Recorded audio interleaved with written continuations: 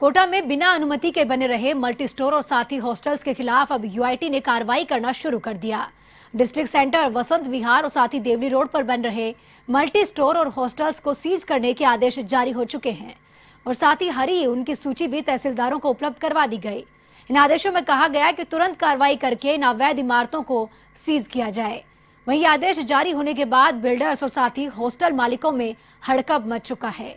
यूआरटी सचिव भवानी सिंह पलावत ने बताया कि ऐसी इमारतों के बारे में लगातार शिकायतें मिल रही थी और इसी के बाद इनकी जाँच करवाई गई। इसमें 155 मल्टी स्टोर और साथ ही हॉस्टल्स को नोटिस जारी किया गया।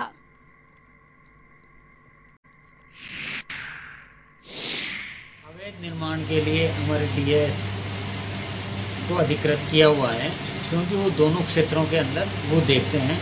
गुलाब कोठारी बनाम सरकार के नाम से एक हाई कोर्ट के अंदर रिट चली थी।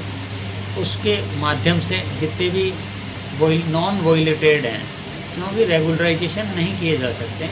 अतः ऐसे अवैध निर्माणों को रोकने के लिए जैसे अनुमति से अधिक मंजिलों का निर्माण, छज्जा बालकनी का निर्माण सेटबैक्स छोड़ना, ये समस्त कार्यवाहियाँ इसके अंतर्गत देश और दुनिया की हर छोटी बड़ी खबर के लिए सब्सक्राइब करें एवन टीवी न्यूज़ साथ ही बेल आइकन को प्रेस करें ताकि आप पा सकें ताज़ा खबरों की नोटिफिकेशन